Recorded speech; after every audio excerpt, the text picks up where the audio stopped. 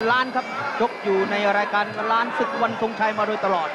โดยเฉพาะค่าตัวของทั้งคู่สองคนรวมกันแล้วนี่ผมคิดว่าไม่ต่ำกว่า 4 0 0แสนบาทครับ ดูครับทางด้านลำน้ำมูลสอสุมาลีครับซึ่งรายนี้นี่เป็นแฟนๆที่วันที่เปิดสนามเวทีมวยแปดริ้วนี่คงจะจำกันได้เป็นวันนั้นเขาเก็บกาเก็บทางด้านบักโจ้หรือว่าชนะบักโจ้เป็นแบบสวยงามครับวันนี้ครับมาเจอกับสามกชรัตนพัฒน์ดูครับเป็นการต่อน้ำหนักกัน4ปอนด์ครับ 132 ปอนด์ครับเป็นของ3กอ128 ปอนด์ครับเป็นของลำน้ำมูล เพื่อความเหมาะสมครับทางด้านทีมงานของเราเลยจัดให้มีการต่อน้ำหนักกัน 4 ปอนด์ ครับดูว่า 4 ปอนด์จะมีปัญหาไหมคุณปะครับ นะครับสำหรับวันนี้สำหรับลำน้ำมูล เพราะว่าน้ำหนักเท่ากันนั้น3กออาจจะเป็นรองนิดน้อย แต่ถ้า 4 ปอนด์แล้วจะหนักหนาหรือเปล่า นี่คือความเหมาะสมของมวยในยุคนี้ครับ ครับ ซึ่งหากว่าชกในน้ำหนักใกล้เคียงกันแล้วนี่สามกอดูจะเป็นรองลำน้ำมูลนี่หลายถุง ในเมื่อน้ำหนักขึ้นมาแบบนี้แล้วผมคิดว่าความเหมาะสมของมวยคู่นี้ครับแฟนๆต้องวิเคราะห์พิจารณาให้ดีครับพิจารณาให้ดี โดยเฉพาะยิ่งคุณปะฮะฟอร์มหลังเป็นไงฮะครัสาบมกอครับเปิดสวยงามเปิดสนามมวยนานาชาติครับเล่นบักโจ้ซะก็เรียกว่าดับดาวรุ่งภูทรครับบักโจอ่าดับไปแบบสวยงามครับครับ วันนี้เรามาดูครับทางด้านลำน้ำมูลซึ่ง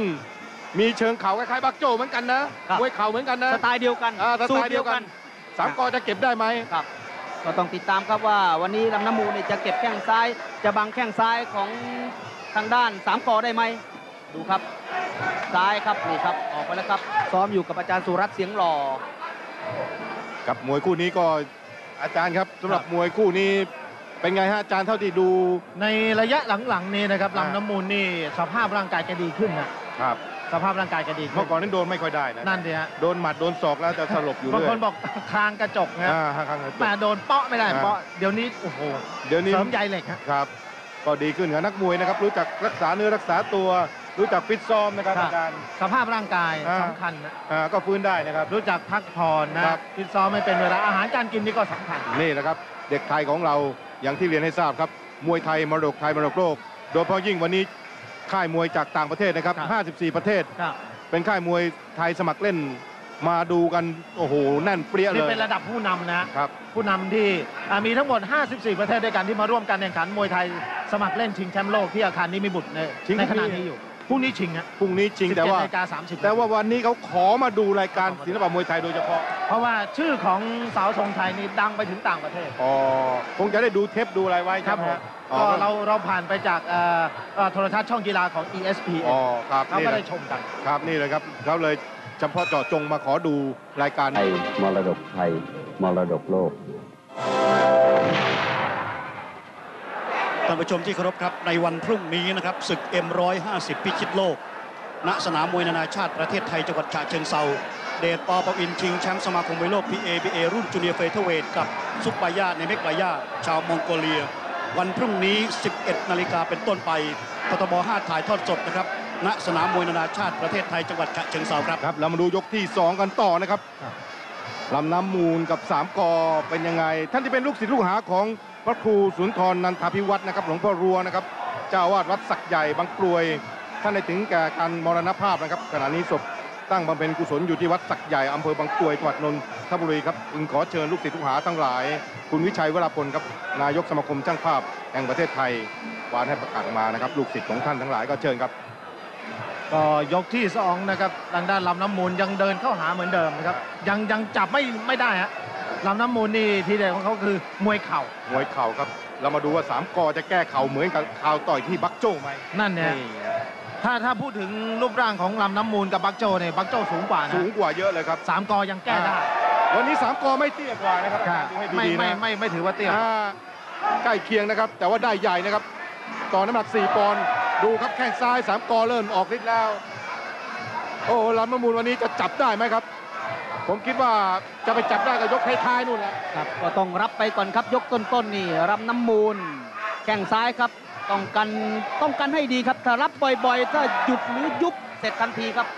เข่าอาชีพหรือเข่าในโดยตรงครับต้องลำน้ำมูลครับดูครับมวยแข้งซ้ายอาวุธสำคัญกับมวยเข่าในล้วนๆอย่างลำน้ำมูลครับดูครับวันนี้ครับใครจะได้รับการชูมือติดเข้าไปเรื่อยครับ รายการที่ตรงนี้ครับศิลปะมวยไทยในขนมต้มเสาทรงชัยครับ ไม่มีมวยแก่งคอย แล้วก็ไม่มีมวยแก่งเสือเต้นครับ ประเภทพวกคอยคอยเต้นเต้นๆไม่มีครับที่ตรงนี้ มีแต่ประเภทบูครับ อย่างเช่นรายนี้เป็นต้นครับลำน้ำมูลสอสุมาลี จากอุบลราชธานีติดเข้าไปแล้วก็แทงขวาเข้าไป หลุดครับลูกนี้ต้องป้องกันให้ดีครับ อาวุธต้นๆของทางด้านสามกอนี่ร้ายกาจครับไม่ว่าจะเป็นแข้งเป็นหมัดเป็นศอก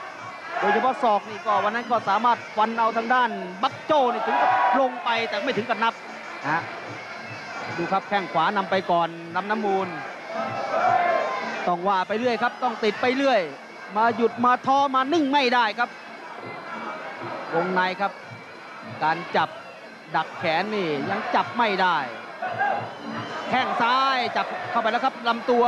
ไม่ติดอะไรครับ ติดลำตัวอย่างเดียว แข้งที่สองอายกที่สองก็โดนเข้าไปสองแข้งแต่เป็นการกระตุ้นกล้ามเนื้อให้ตื่นตัวครับทางด้านลำน้ำมูลนี่ไม่ตกตื่นตกใจครับ ยิ่งโดนยิ่งเดิน รายนี้นี่น้ำหมดน้ำทนท่าทรหดต่าง ๆ นี่เป็นเยี่ยมครับ นี่ว่าขึ้นมาถึงจุดจุดจุดนี้แล้วนี่ก็จัดว่าเกือบสุดยอดครับตอนนี้หมดยกที่สองมวยไทยมรดกไทยมรดกโลกท่านผู้ชมที่เคารพครับ รายการมวยนัดมหากุศลอีกนัดหนึ่ง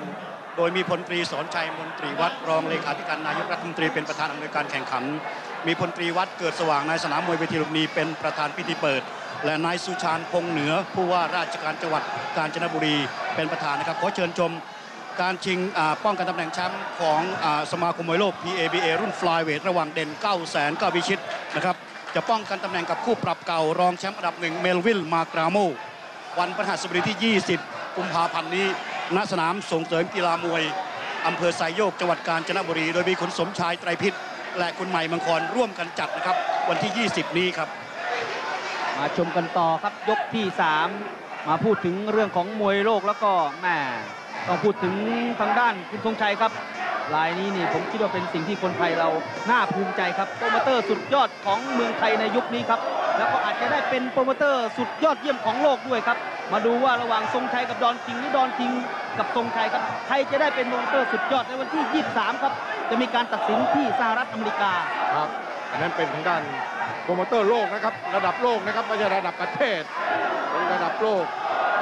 ซึ่งก็เป็นที่น่ายินดีครับประเทศไทยเรามีโปรโมเตอร์ที่เข้าชิง โปรโมเตอร์สุดยอดของโลกคนหนึ่งเหมือนกันก็ช่วงนี้เอาละครับลำน้ำมูลเริ่มจับได้แล้วสามกอก็พยายามกันตีโต้ไม่ยอมให้ลำน้ำมูลตีง่าย ๆ เหมือนกัน ช่วงนี้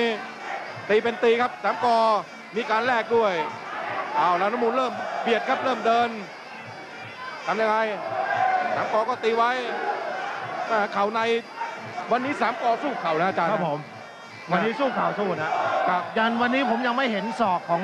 สามกอฮะครับคราวที่แล้วเนี่ยบักโจ้เจอศอกเข้าไปอ๋อโอ้โหหน้าตายับเยินเลยศอกซ้ายนะครับ วันนี้ยังไม่สำแดงนิดเลยครับทำไมเก็บไว้ไม่ทราบหรือเก็บเป็น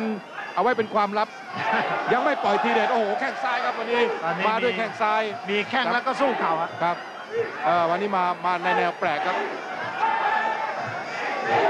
อ้าวตีด้วยครับดูครับ วันนี้สู้ด้วยแหม่เขาบอกลำน้ำมูลนี่เป็นมวยประเภทแบบยิ่งดูยิ่งแรงนะครับเอ่อมักจะแรงในตอนท้ายๆฮะยกสี่ยกห้านี่ยิ่งมาแรงใหญ่ฮะลำน้ำมูลเครื่องร้อนช้าครับ ยกนี้ยกสามเริ่มจะร้อนแล้วพยายามจะเบียดตีโอ้โหโดนอย่างนี้เอาละครับ เริ่มมีเฮฮาแล้วครับในสนาม ช่วงนี้สามกอเริ่มออกฤทธิ์แล้วครับก็สู้เข่าครับตอนนี้อ่าเปลี่ยมดีตะหา ครับเตะเข้าไปลูกนี้นี่โอ้โหครับโอ้ยิ่งโดนยิ่งเดินครับทางด้านลำน้ำมูลนี่หัวจิตหัวใจนี่เป็นสปอยร้อยเปอร์เซ็นต์ครับรายนี้นี่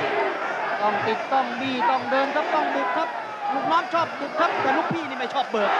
รายนี้ครับเฮียสกลครับเหลือเยอะเรื่องของเบิกไม่มีครับราชธานีเอาละครับ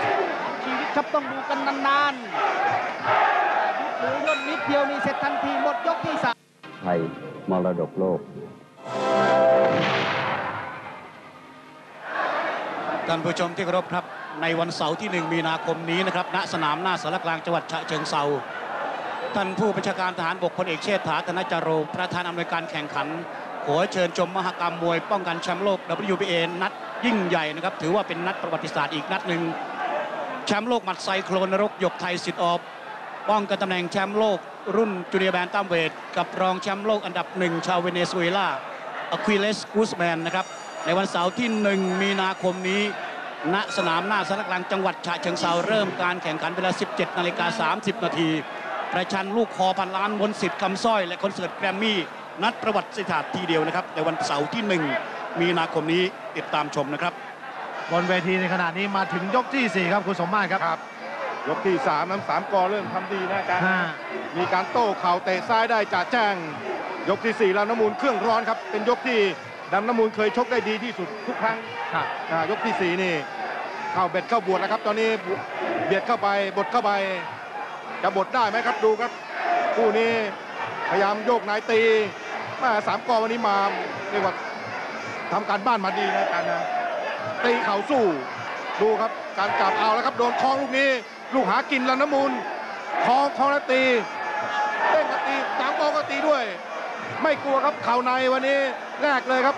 หมองูตายเพราะงูหรือเปล่าโอ้โหห้าหมองูจะตายเพราะงูไหมนั่นเนี่ยอ่าดูครับ โอ้โหตีวาไว้งหแผน้านการชกดีฮะว่าวางแผนการชกดี ต้องวัดกันที่ท่าทรหดครับ ออกมายกนี้นี่นะการวางผงวางแผนของอาจารย์สุรัตน์วันนี้วางมาดีครับ นอกให้มีแข้งซ้าย ในให้โต้เข่าโอ้โหแต่ละแข้งเข้าไปเรื่องน้ำเนื้อเนื้อทั้งสิ้นโอ้โหครับโอ้โหแข้งซ้ายแข้งนี้นี่สวยงามแล้วดูครับเปิ้ลไปตลอดครับโอ้โหหนักๆแรงๆทั้งสิ้นโดนเข้าไปช็อตนี้นี่อ่าเป็นพ่อบุญรับไปเลยครับทางด้านลำน้ำมูลสนุกถึงใจคุณนายผู้ว่าครับต่อยกันแบบนี้นี่ถึงใจจริงๆโอ้โหเสียหลักเสียเหลี่ยมตาหากล้มไปทั้ง3คนครับรวมทั้งกรรมการด้วย โอ้โหมาถึงในช่วงนี้ตอนนี้แล้วสถานการณ์แบบนี้นี่ ไม่โสภาสถาพรซะแล้วครับทางด้านลำน้ำมูล แต่ลายนี้ครับมีฮึบมีตีตลอดเล่งได้ตลอดรอบสองมาแล้วเอ้าว่ายังไงเริ่มแรงขึ้นมาบ้างครับอ่าสามกอมาแนวใหม่เลยครับช่วงนี้มาบทมาเบียดกับลำน้ำมูลเลย ไม่กลัวครับไม่กลัวศักดิ์ศรีนี่สามกอวันนี้มาภาคใหม่ใช้ไรเก่าแหมกลางๆยกนี่สามกอทำได้ดีครับแต่ตอนนี้ นำน้ำมูลเริ่มแรงขึ้นมาอีกๆคแล้วรับครับ เอาละครับตั้งหลักได้แล้วฮะแต่สักครู่นี้สามกอโยกเป็นการใหญ่ลำน้ำมูลยังตั้งหลักไม่เอาละครับโดนแล้วเอาสามกอยังไงครับ จะหยุดไหมจะแผ่วไหมถ้าไม่แผ่วก็คงจะน่าดูครับแต่ถ้าแผ่วเมื่อไหร่ก็เรียบร้อยครับนี่ครับต่อยแล้วสมศักดิ์ศรีมวยค่าตัวเงินแสนครับ ต้องต่อยแบบนี้ครับในเครือข่ายของศึกวันทรงชัย มวยแก่งคอยมวยแก่งเสือเต้นไม่มีครับไม่มีแต่ติดตลอด ต่อยก็ต้องให้ถึงใจ ดูแล้วคุ้มค่า ยิ่งดึกยิ่งดุครับ โอ้ยแข้งซ้ายแข้งนี้วางเข้าไปสองแข้งนี่สวยงามเหลือกเกินครับ แน่นแน่นเนียนเนียนเนื้อเนื้อทั้งสิ้นครับแข้งที่ออกของสามกอแถมในนี่เหลี่ยมดีตาหากดูการยืนระยะครับ ต้องยืนให้อยู่ยืนให้ดีครับนี่เป็นช่วงของปลายยกที่ 4 ครับใกล้จะหมดยกเต็มทนมมาวิเคราะห์ถึงตอนนี้แล้วนี่มาคู่ขี่สูสีครับ ติดเข้าไปอะหมดยกที่4มรดกไทย มรดกโลก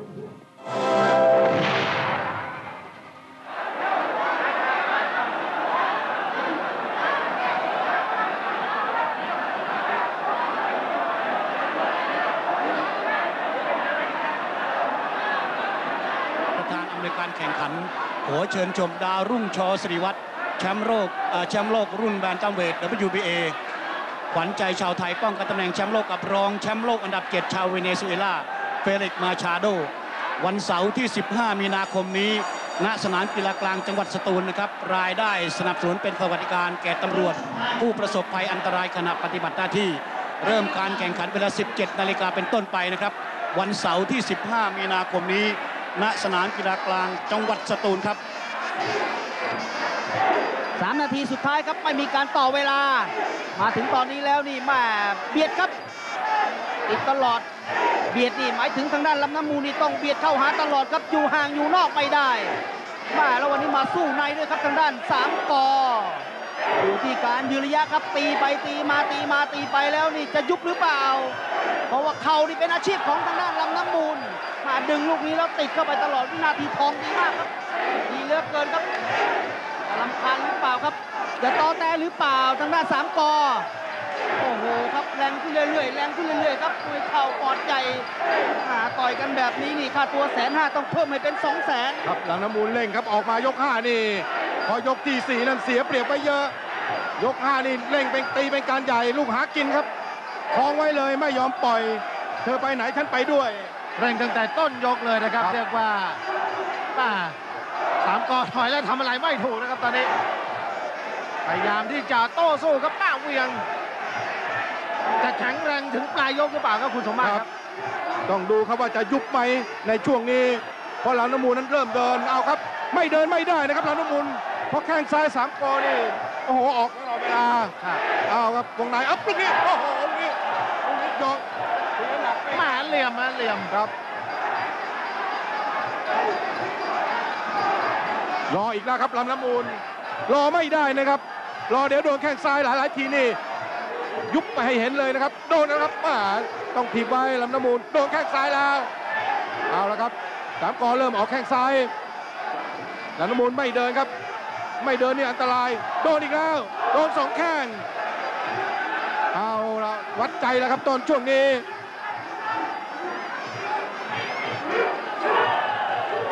ก็มาออกแข้งขวาโต้ไว้ครับ โดนแข้งซ้ายอีกแล้วลำน้ำมูลทำไมหยุดยังไงไม่ทราบเดินเลยครับคลองแล้ววงวงในสามกอตีก่อนครับลำน้ำมูลตีโต้สามกอตีสู้เอาฮึดสุดท้ายเอาแล้วครับ ดูก๊กไหนก๊กของใครเอาแข้งซ้ายดูที่ก๊กใครช่วงนี้ครับใครฮึดใครได้เปรียบลำน้ำมูลไม่เดินนะฮะมาโต้นี่ครับ เดินไม่ได้นะแข้งซ้ายโอ้เป็นซ้ายที่เตะได้ดีครับในช่วงของตอนจะหมดยกที่ 5 แต่ไม่ทราบว่าซ้ายแบบนี้จะเป็นซ้ายที่มีคะแนนหรือเปล่าอ่าเพราะว่าเข่าในของลำน้ำมูลวันนี้มาโหดเหี้ยมเหลือเกินครับ รับไปเยอะแม้แต่ว่าเข่าตีเข้าไปแต่ละดอกนี่ก็เล่นงานเอาทางด้านสามกอนี่ถึงกับออกอาการครับครับอาการน่าเป็นห่วงอะ สามกอก็หยุดแล้วคุณป่าอาหมดยกที่ห้าเร่งตรงสุดสตีเหมือนกันครับสามกอในยกที่สี่โอ้เตะเอาลำน้ำมูลสะดุดไปเหมือนกัน แต่ว่ายกห้านี่มาแผ่วครับ ก็ไม่มีปัญหาครับลำน้ำมูลสอสุมาลีก็ย้ำแค้นให้กับสามกอชอราชตาสุพักไปอีกครั้งหนึ่งครับ